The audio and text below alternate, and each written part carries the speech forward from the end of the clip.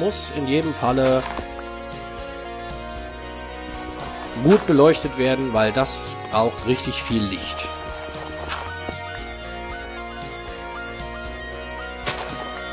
Und dann kriegt alles gleichmäßig Licht und alles ist schön.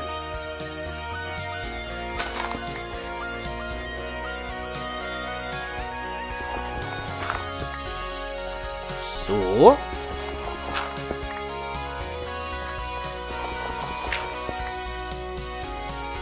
Tada, alles hell genug. Wenn man sich die Monster-Spawn-Flächen anguckt mit der Taste F7, sieht man, dass sie erst da vorn wieder anfangen. Hier fehlt noch eine. Ja, aber die Felder selbst sind quasi Monster-Spawn-frei. Genau das war das Ziel der Übung.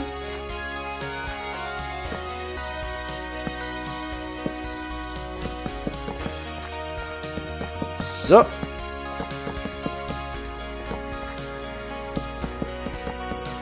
Dann machen wir noch ein schönes Zäunchen drumrum. Die Tore setzen wir dann gleich, wenn es soweit ist, dass wir uns erstmal abgesichert haben mit dem Ganzen. Der Nachteil bei den Glaslights ist, äh, wenn du sie mit Rechtsklick an- und ausmachen kannst. Ja, man kann äh, ja seine Zäune hier hinstellen. Wenn ich jetzt auch versuche, hier einen Zaun hinzustellen, mache ich damit nur das Licht an und aus. Deswegen bin ich gerade ein bisschen vorsichtiger und fehle dabei natürlich ordentlich, wie sich das gehört. So.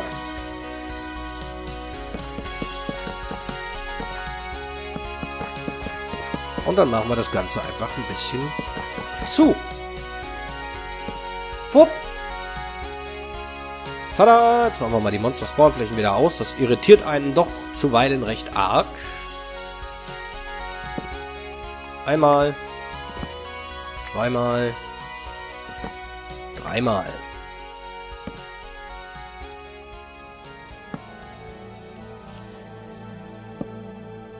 Der Optik wegen mache ich aber an jedes Tor ein Fackelpaar hin.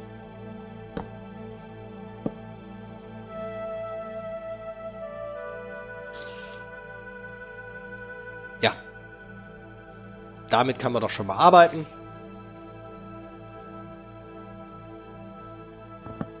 Zap. Zerab. Zerab. Türchen. Türchen. Oh. Nicht Türchen? Dann halt so. Und so. Hier kann man noch mal rein und raus. Hier kann man noch mal rein und raus. Und hier kann man noch mal rein und raus.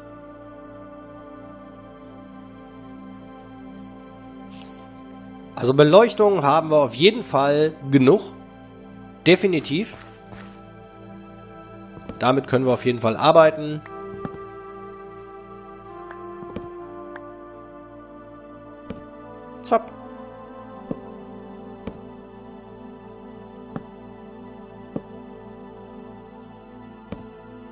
Und so.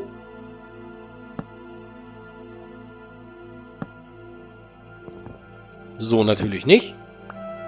Aber auch nicht.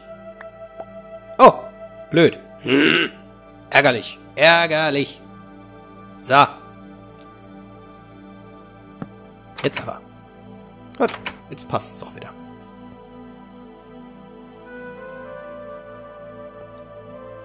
So, und dann haben wir hier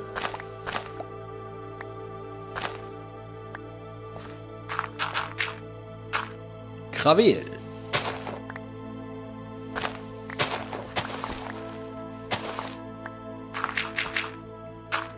Plöpp. Peng, peng, peng, peng, peng.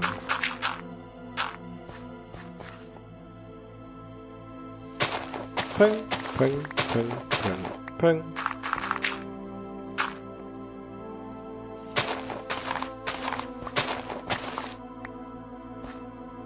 Licht an. Bim, bim, bim, bim. Bim. Eins, zwei, drei, vier, fünf.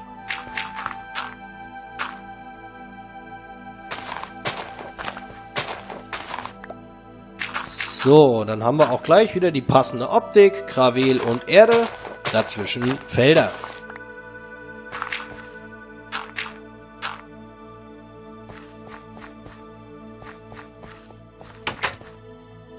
Vielleicht aber zwischendurch nochmal pennen gehen. Sofern man uns jetzt lässt, weil es sind ja doch ein paar Monster in der Nähe des Hauses. Aber es geht. Und so allmählich muss ich äh, ein bisschen mehr auf, aua, auf mein Schwert achten.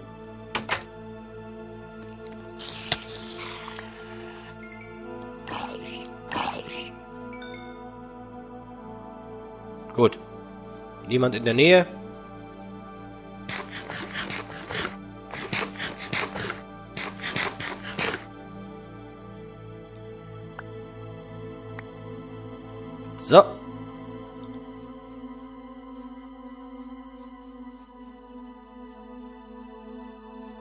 Gut schaut's aus. Die übliche Gravel-Optik. Eins, zwei, drei, vier, fünf. Eins, zwei, drei, vier, fünf. Eins, zwei, drei, vier, fünf. Meh, meh, meh, meh. Meh. Meh, meh, meh, meh. Meh. Meh, meh, meh, meh.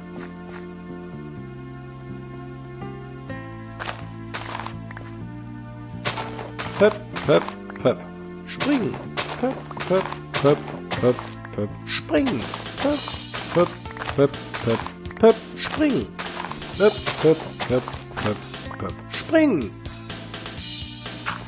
Bling, bling, bling, bling. Wie ein Arcade-Automat, weißt du, so aus den alten Arcade-Games in der Spielothek.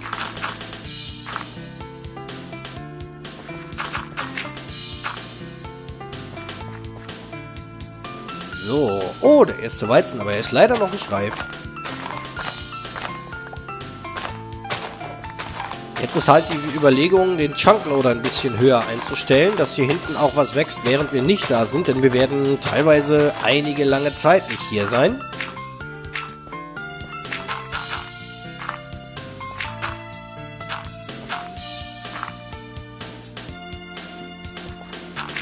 Dö, dö, dö, dö, dö.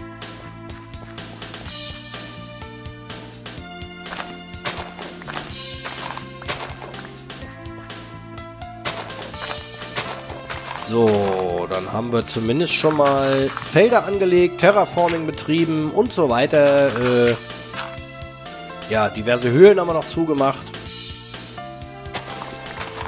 Zumindest in Teilen. In Einzelteilen. äh, nein. Was? Was? Hä? Ist gut. Na gut. So, kurzes Selbstgespräch. Mörchen, gucken aus dem Boden raus. Machen wir auf eine kleine Import-Export-Gemüse- und Obstgeschäft. So, wenn man sich das anguckt, sieht das doch gar nicht so schlecht aus. Felder haben wir angelegt, Erde haben wir geformt. Ich bin den Umständen entsprechend zufrieden mit dem, was wir hier erreicht haben. Monster Drops, bing, bing, bing.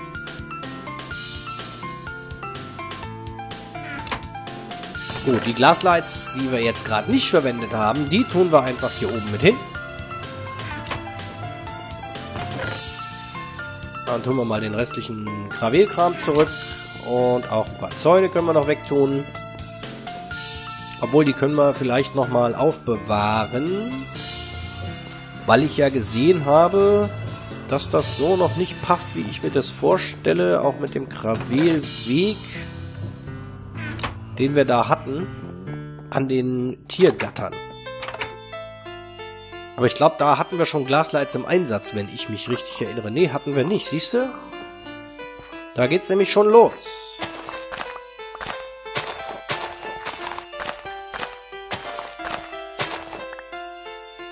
Eins, zwei, drei. Alles klar. Dann einmal so lang.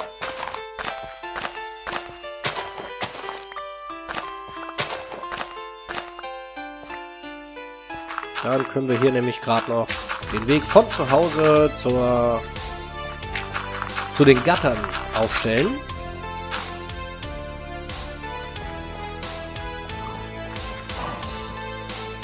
Jetzt weiß ich auch, warum die Tierchen hier sterben. Da sind Spawnflächen drin. Das geht natürlich nicht. Mal an die Seite mit deinem rosa Hintern.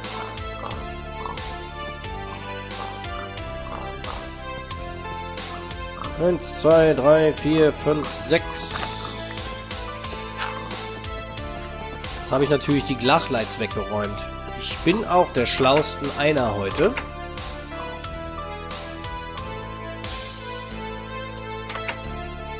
War total clever von mir, die Glaslights wegzuräumen. Ah. Okay.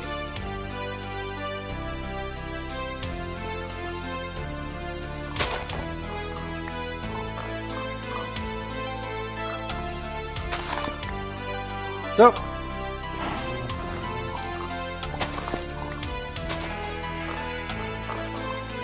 Und auch hier war das äh, das Ziel des Ganzen. Hier kann ich allerdings nur so arbeiten. Allerdings kriege ich dann die Lampen nicht mehr an. Das ist natürlich doof. Lampe an.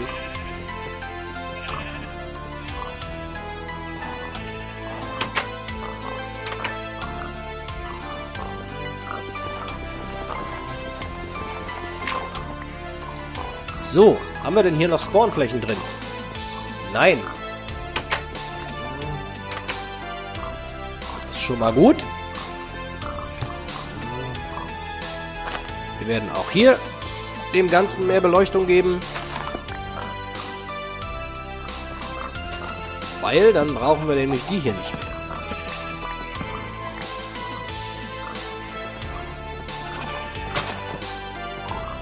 Zack. Zack.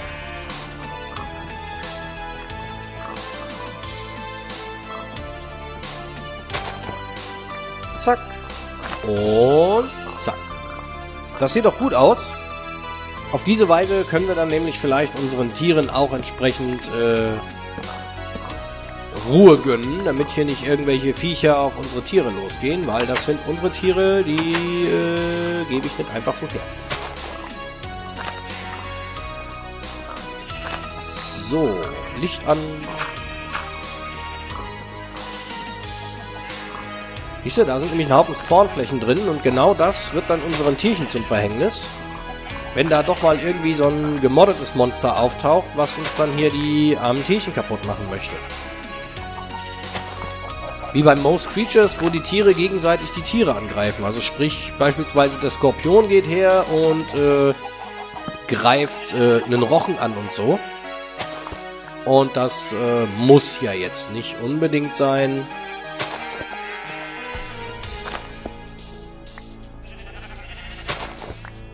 Illegal Space Out of Rank. Cooler Titel.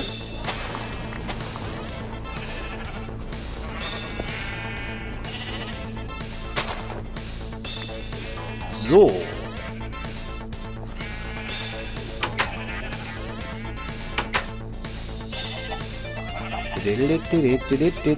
Eins, zwei, drei, vier, fünf, sechs.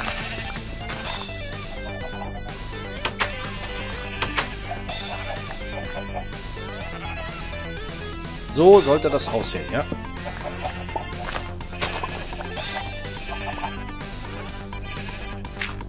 Flöpp.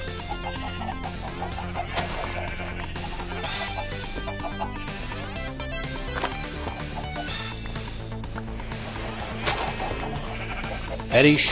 Nächster.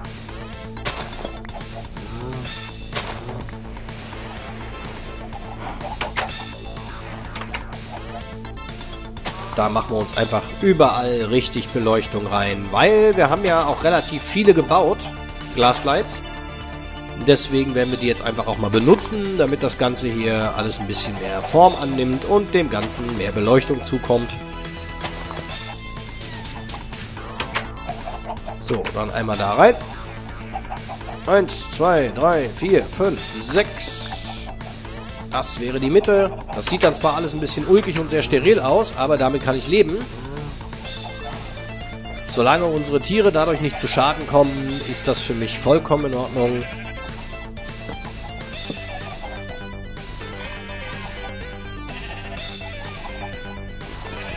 So, dann machen wir einmal hier ein bisschen zu und dann ist da Erde dran. Pupp.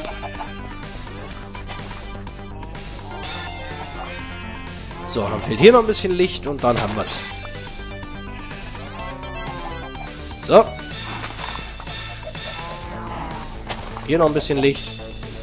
Und da besser wieder von außen.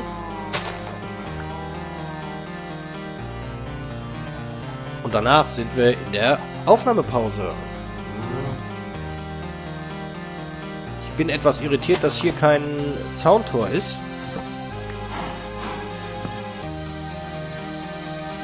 Aber das kriegen wir auch noch. So.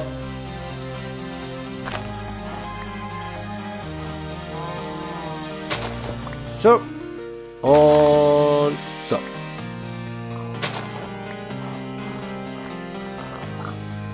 Dann muss ich nochmal hier hin.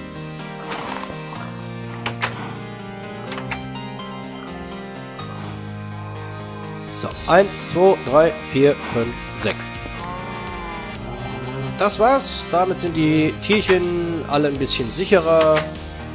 Du brauchst auch nicht versuchen, da runter äh, rauszuhopsen. Gehst du wohl zurück in dein Gehege. Gut, und die Beleuchtungsbereiche äh, hier, das werden wir dann entsprechend machen, wenn es soweit ist. Jetzt aktuell sehe ich da noch nicht so einen großen Bedarf drin. Außer eben hier. Aber die Tierchen können jetzt nicht mehr zu den äh, anderen Tierchen spawnen. Das ist super so. Das sieht zwar jetzt alles ein bisschen merkwürdig aus, hat aber erstmal seinen Sinn. So, es ist auf jeden Fall schon mal dunkel geworden. Die Felder stehen, Erde ist geklatscht. Ja, Ankündigungen für die kommenden Projekte sind gemacht. Homepage ist bekannt. Ich freue mich. Zeit für die Aufnahmepause. Wir behalten die Klamotten bei, die wir jetzt haben, legen uns hier mal kurz auf die Koje, sagen vielen Dank fürs Zusehen und bis äh, planmäßig morgen. Gelle? Bis denn. Tschüss.